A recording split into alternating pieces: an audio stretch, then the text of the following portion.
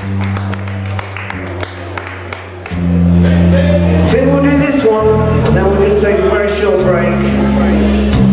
I need to visit hair and makeup. Make sure that this is still stuck down alright.